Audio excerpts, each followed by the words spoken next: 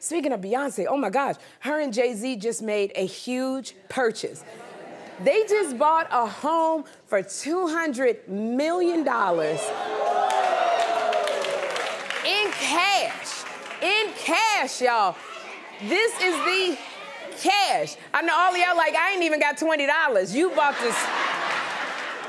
This is the most expensive home ever sold in the entire state of California. Now, not only this, they are keeping their $100 million home they already have. That's gonna be a weekend home.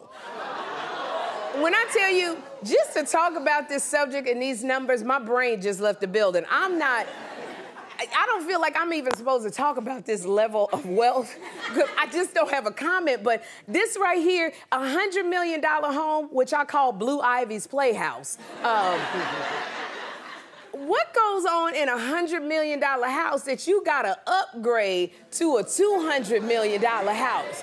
Because it already has the bowling alley, the movie theater, the amusement park, all the basics that you would need.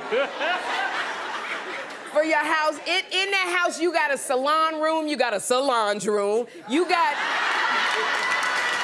Oh my gosh. But over here, Look at this. This is a two hundred million dollar house. You don't go. You don't walk. You get a tram that takes you from one side to the other. Like Beyonce could have held the, the, the, her tour right here, the concert right here in the backyard. And you know, when I'm looking at it, this don't even look like a house. This, this looks like the airport. That's what it looks like. This house looks like you can land. All right, coming down. We're landing right now. Put your seats up. You got 300 million in, in, in, in property, and, and, and you charging all that money for the tickets, girl. That's what I, I feel like I am paying your mortgage right now. With all the money I pay for these tickets, Beyonce, you gotta invite me over. I need to come over for the barbecue. Here's the thing. I don't. What do you bring if, if Beyonce invites you to a cookout? At first of all, I need my navigation system to, to get around.